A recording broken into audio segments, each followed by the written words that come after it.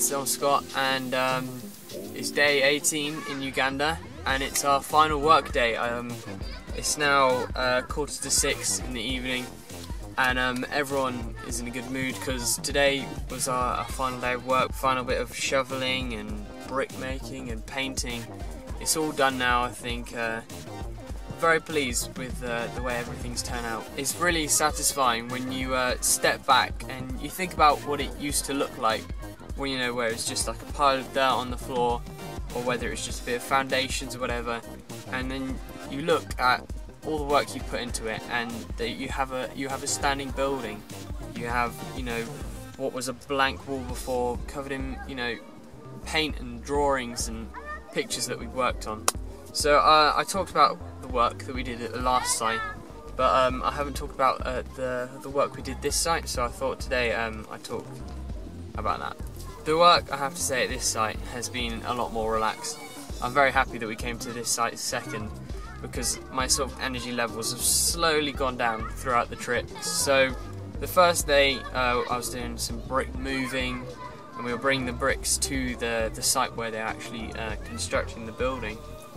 And um, I did a brick, bit of uh, bricklaying as well, which I don't know, I, I didn't really enjoy. So that it was a pretty boring first day. But after that, um, all I've done is painting pretty much. So the, the painting we had to, we we're painting the outside of one building and the inside of, it had two separate rooms. So uh, painting the inside of both of those. So we first had to paint the whole outside white, which I think we did in a day. Then after that we had to paint the top half cream on our day out we went to Jinja, someone painted the blue waves and we had to paint the bottom half uh, a dark blue. And um, so yeah just had these waves. We went around the window frames uh, as well. And uh, it turned out pretty well. It was really good. We we did it in a few days which was uh, very satisfying. And then we went on to painting the insides where we did the, the same method of painting all white then cream then the blue and um, it looks really good. When you see the building before, it's uh, it's amazing um, the difference that we've made, and I'm, I'm very happy I came on this trip. After we'd done all the painting, we we uh, went inside the classrooms, and um, we were asked by some we asked the teachers what they wanted on the wall, and we um, drew I think it was a human heart inside of an ear, a fish, and um, I can't, I can't remember. It was all to do with uh, what they were learning at the time. And one thing I can say is that everyone's, everyone's put in a lot of effort. Everyone's done something. There's not been that one person who sat down the whole trip and done like nothing. I've had like one day off. Other people had days of rest.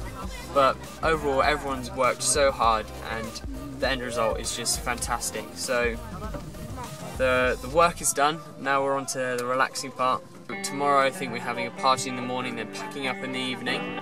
Tom, you got any dirty underwear you need washing? No, I'm alright, thanks Dan. Okay. I'm just getting the out of mine. Alright. it was... Um, so, to tomorrow we're, uh... I think it's tomorrow evening or the day after. We're heading off to a place called Murchison Falls. Um, I don't know if I'll be able to vlog there at all but um, I'll definitely do take so many videos and photos. It's gone blue. Oh, why? I don't know. Are you purposely interrupting me, Dan? No. Because I'm forgetting no. my train of thought now. I don't know if I'll be able to vlog there, but uh, I'll definitely do. Um, if I don't, I'll definitely do a massive um, video and photo compilation as well. I'll probably um, do that with the rest of my photos as well because I've taken something like uh, 850 photos and videos so far so uh, it's a lot and I probably won't be able to put it all into one video. I'm looking forward to the relaxing and the resting. When we go to Murchison apparently we're having western food and you know we'll have beds, showers and um, I'm certainly looking forward to it so thank you all for watching and I'll see you all soon. Bye!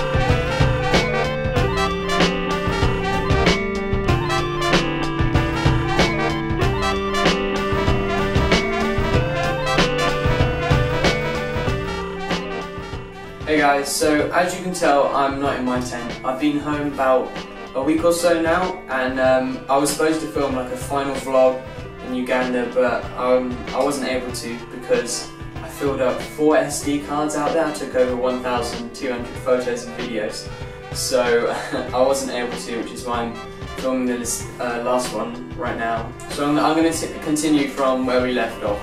So on the last day we took some pictures, um, all of us as a group, of the work that we'd done. So then in the evening we, uh, we built a massive bonfire, we had a little party and a great last meal with the builders. Uh, we danced, sang, did a few campfire songs, it was brilliant. And then um, we all went to bed and we had to be early up the next morning to pack all our stuff, take down our tents and um, I suppose it was a bit emotional. We were saying goodbye to the builders that we'd spent over a week with doing work and um, saying goodbye to the, the kids in the school that we'd worked on. And yeah, it was, it was a shame, but you know, we were ready for the safari that was to come. So the 15th was the day we left and um, we began the long drive to Murchison Falls National Park. Um, it took a long time. There was a few complications. Uh, people had there was medical problems, uh, some tyres burst, fuel, you know, all this and that. And we ended up getting there at two in the morning the next day. Uh, we literally quickly set up our tent and went straight to bed. I was so tired. Since I'm under 16, we had to get up at six o'clock for the safari. So there, there was no rest. But I was so tired that um, I, I, really wasn't too concerned. I was more excited for the safari, and um, in the end, it was it was excellent. I loved it. So we got up early and we went over to these sort of modified like minibus things. Um, they were great because you unclip the roof and it folded round like this, and you um, clipped it up like that. So when we were in them, we could look out, and um, we had a brilliant guide and uh, a brilliant driver as well. They were both all the times looking out and we managed to see baboons, waterbuck and like a variety of like gazelles and stuff, uh, giraffes, elephants. I think we were one of the only groups to see dung beetle as well and we were also lucky enough to see lions. There's two of them, it's moving. There's two of them. After we finished the safari, we returned to our um, sort of camp area that we were staying, and the heavens opened. It was the heaviest rain I've ever been in my life. It was massive. It only lasted like half an hour, but it was heavy. Unfortunately, my camera was charging, so I didn't get any videos of the rain, but the aftermath was absolutely ridiculous. People had their tents absolutely soaked, there was some lost. I remember sprinting to my tent, grabbing my sling bag out of a massive puddle in the middle of our tent. And Charlie pegged out everything in our tent, everything, and it still managed to blow over, and there was water pouring in. And so I, we just grabbed our stuff, picked it up, sprinted back to the dry area, put it down, and we were running back and forth, helping other people gather all their bags. It was ridiculous. It was probably fun at the time, but afterwards, you know, having people having wet stuff, it wasn't great. It really wasn't convenient. But I think we just got on with it. Everyone, no one complained that much. Um, everyone laid out their stuff. We had it hanging up inside. and anywhere in the sun, we were drying stuff. That was probably the excitement for that day. Woke up the next morning and um, we were lucky enough to have a lion that day. Um, we had pancakes for breakfast, which was great, and um, we relaxed for the morning because in the afternoon we had uh, the boat trip. It was it was quite relaxing, I enjoyed it. It was about an hour and a half boat trip. We saw hippos, um, crocodiles, I think there was three different types of crocodiles in the Nile, I don't know which ones we saw. We, we saw elephant again, and then a variety of birds which I didn't really know, but I just took pictures of anyway. So after the boat journey, we arrived at the bottom of uh, Murchison Falls, where we met our tour guide called Emma, and he took us through the two kilometre walk which I didn't think was too strenuous. The, the views were great. Uh, I took so many pictures of videos, so I'm just gonna give you a compilation of all the clips.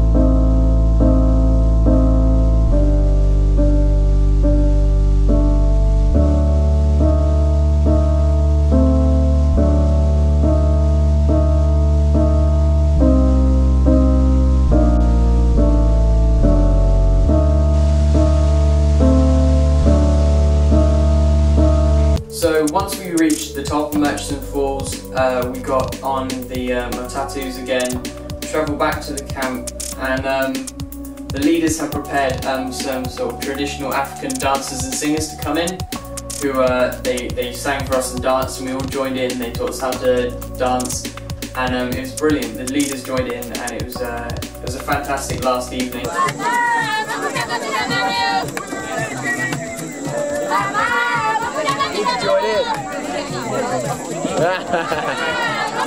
that would have been our last night uh, camping, and um, it was it was definitely a, fantastic last evening. I really enjoyed it. So we got up again the next morning and we travelled uh, to the Enro Hotel. It was this big four, five star hotel and it was it was just amazing. We walked into the room and we were absolutely blown away. There was plugs, there was a fan, you know, just general average things. There was a toilet that flushed, hot water in the shower, um, and we just we just couldn't believe it. You know, all those little things you take for granted at home were just there in that room. A bed with a mattress, you know, it was unbelievable. But when we arrived, um, there was a, a band that when we got out all of our cars, they set up, they all lined up, started playing their instruments, and um, Mark, one of the leaders, began to give a speech at the end but um, he's, he sort of cried and went off. And I, I asked him afterwards, um, you know, why were you so upset? It turned out that he came on the last trip four years ago, and there they were working on a different school. And at that school, there was this band, and they were, and I quote, crap. They could only play one song, but they came along today, they played a few songs for us, and I personally thought they were fantastic. It was an actual physical sign of the difference that they had made.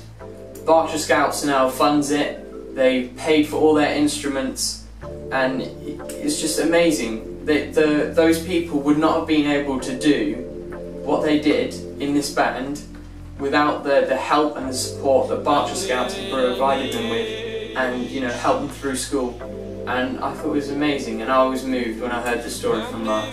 So in the evening we had a buffet and we were given, they gave out all the awards and everyone got certificates from both of the schools that we worked on and it was uh, it was fantastic, it was, it was brilliant um, you know, to just sit back, relax, go to bed in an actual bed.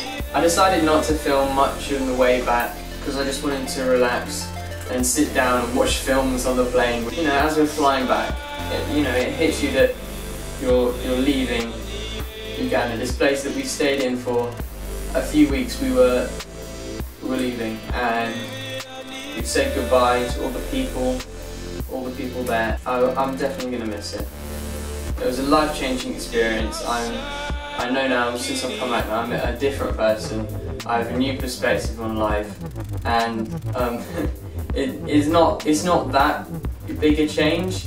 I'm not going to change you know, from the way I act around people and places, but um, I know that I'm going to reflect on things differently now. And I'm grateful to everyone who has donated, who has supported me to go out there, everyone who was there to help us build, all the leaders who put in all the effort. I'd like to say thank you to every single person because I really appreciate it and the safari at the end, just taking pictures, taking videos, I absolutely loved the experience. And if there's anyone who has an opportunity to go travel, um, I would I would take it because if you're like me, then you'll definitely enjoy it. So thank you to everyone who has uh, supported me. Thank you to all of you who've watched this. Uh, I hope you enjoyed it. I hope you um, appreciated the amount of effort that I put into these vlogs and um, it was a fantastic trip. Thank you and uh, hopefully I'll see you all soon again. Goodbye. Ba, ba, ba,